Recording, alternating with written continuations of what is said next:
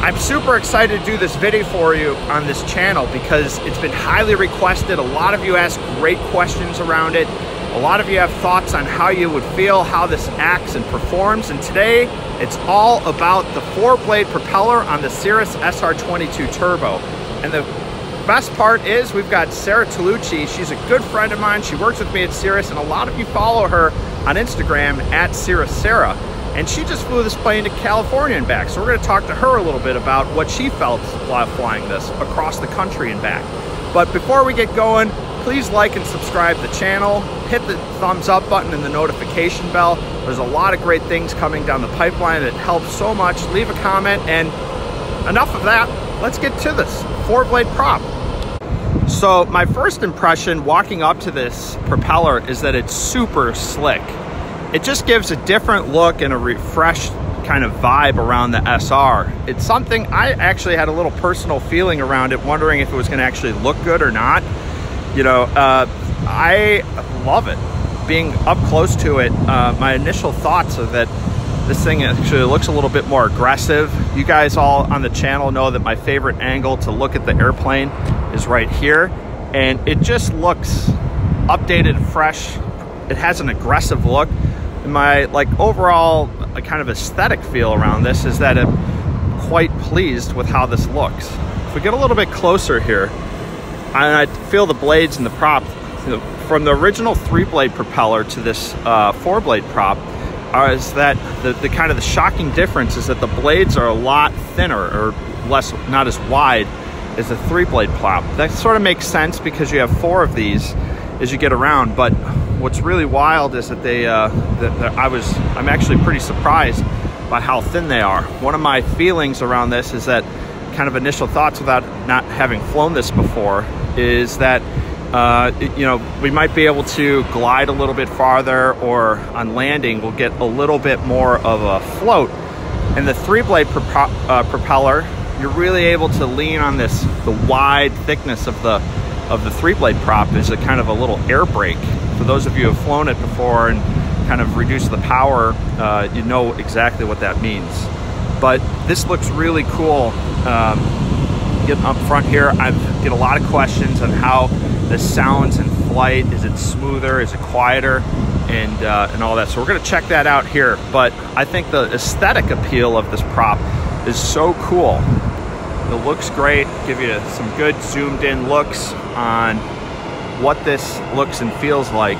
It's got the same kind of composite feel to it, the nickel edge here that looks really nice. The prop tips are great. And then um, right in here, there's our de-icing uh, uh, pipettes. So the de-ice fluid actually flows out of this little pipette into these channels on this boot. A lot of people think this is an electronic boot, but it's not.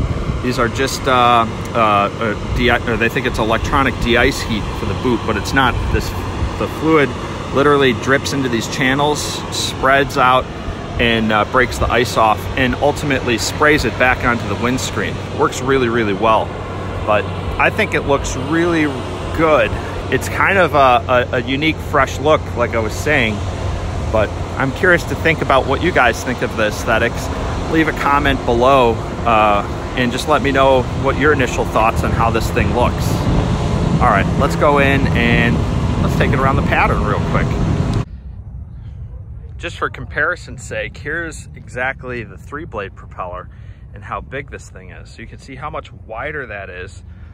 I think it still looks really sharp. I kind of like these little flares that go on the outside, but much, much bigger. Big paddle up front and, um, and all that. Super cool. So this is awesome. We're about ready to go flying, but the first thing that I saw when we got in is that this is a different look. I'm not normally used to seeing two blades uh, out the window like this. I think it looks sharp. It's a little bit different, fresh. I'm still kind of getting used to the um, how the narrow the, the prop blades are, and they don't have that wideness of the of the three blade, but I think it looks good. All right, enough of that. Before we go flying, I want to talk to Sarah real quick get her thoughts and what she felt while flying all the way to California and back. She's gonna fly with us and here we go. This is awesome. We're about ready to fire up. And my good friend, Sarah Talucci, you follow her on Instagram at Cirrus Sarah. And she's literally famous. We're down here at the Knoxville airport and she walked into the FBO and people started to see her and talk to her and be like, are you Cirrus Sarah? Well, that's her. It's awesome. She's going to fly with us. But the best part is, is that she flew all the way to California and back with this airplane. And how did people feel when they saw a Cirrus with four blades pull up on the ramp? We got a lot of really good reactions this week. Um, all of the line guys stopped and asked questions. A lot of pilots stopped and asked questions. A lot of Cirrus owners were around, so we were able to talk to a lot of people about it. Yeah, awesome. That's cool that there's good reaction around it. And how about when you were flying? Anything that you noticed right off the bat when we when you were up flying? Yeah, I mean, I personally thought that it was a little bit quieter, a little bit smoother. Um, and I did notice that it floated a little bit more on landing. It wasn't like the traditional three blade, blade prop where um, where it's kind of more of a speed brake. So there was a little bit more float on landing, which made them nice and smooth. Awesome. Well, we're gonna go out and fly. Sarah's gonna show me her best tips and tricks so that we can get it and show you. And let's go for a flight.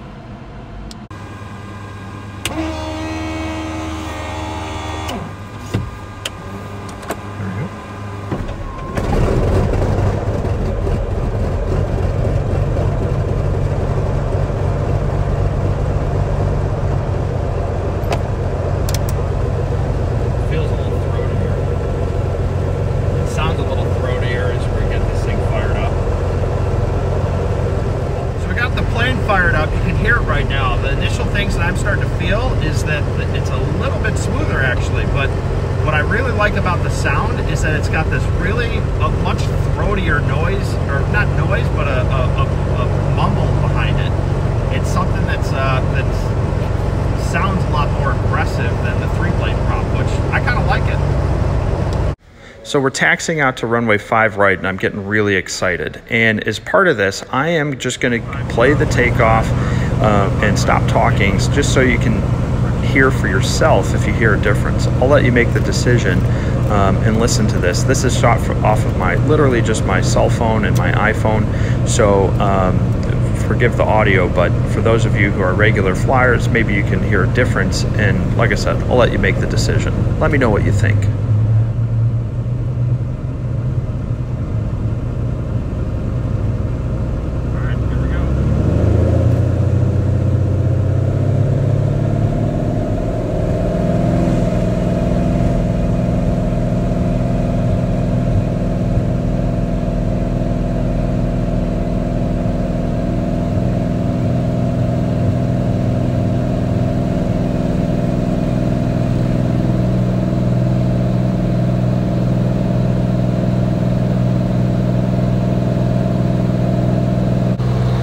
So we're just capturing and leveling off at 4,500. And if you look at the airspeed indicator here, you can see that we're starting to accelerate. That's really important as I feel. We want to let the airplane build the speed.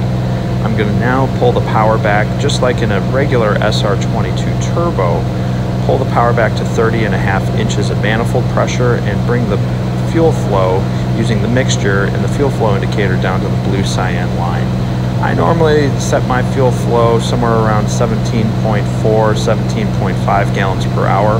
I think that's a great uh, power setting to be nice to the engine and uh, still get some decent performance out of the airplane and uh, just kind of let the airplane settle out at its final true airspeed here while, um, while we're cruising. So I want to shift over now to give you a little bit of the performance view of now that we've leveled out set up, leaned out for cruise here at 4,500. And if we look down and look at our true airspeed, the true airspeed is very typical of what we would see with a three-blade propeller. So as far as performance goes, here at 4,500 feet, not too off base. I'm also going to go and give a noise check. I've got a little uh, decibel readout on the on my phone and leveling out somewhere around 83 to 85 decibels is basically what you would get in a three blade composite prop uh, on the SR22 Turbo. So the sound profile is relatively the same. I do feel a little bit different of a vibration profile, but um, a huge shoot, shout out to uh, Sarah for, for helping with this. Anyway, we're lining up, going back into Knoxville, and uh, just speeding up the flight here so that we set up uh, for an approach to runway five right. And uh, I'm basically on, you know, within 500 feet here. Sarah's doing a great job of uh, filming for us. And the things that I'm feeling are that I'm um, the airplane has its own natural momentum, which is really really cool. I've got in the flare here. I want to try to slow down. I actually ended up feeling that I need to pull the power early, and I have this little light flare here that you're able to kind of feel. And the other thing that I noticed is that I was able to hold the nose off a lot longer uh, because I didn't have the drag profile of those wide three blade props. I really like this. This is, if you want to get good at your landings, you can feather it a little bit and, and use that momentum. I feel like that's going to be a really good thing for us, SR22 turbo pilots, and they're going to love it. So we just parked and finished the flight here at the Cirrus Aircraft Vision Center, and man, I gotta say that I really like it. It's my first flight in it, and my impressions are that it it has this really good sounding, deep kind of rumble to it. it sounds very aggressive. It's different, it's fresh, and kind of makes you feel good as you're flying. You know, the climb, the takeoff, it, it was it felt about the same as a three blade prop, but where I really noticed a difference was on landing. Normally the three blade prop has a little bit of a kind of a firmness or stiffness on the landing. And if you nail your power settings you can make a great landing. But on this four blade I had a little extra feather of a float that played a big difference. And I can see where you can get really good on instrument approaches and that becomes a benefit and uh, and your flares and touchdowns to make great approaches and great landings at all the time. But a huge shout out and a thank you to my good friend Sarah Talucci make sure you follow her on Instagram at Cirrus Sarah. She's a great camera person always a fun person to fly with and uh, just it's awesome. Anyway thanks so much for watching. If you like this video subscribe to the channel press the thumbs up button and ring the notification bell. There's lots of cool things that are coming and until next time fly safe and fly well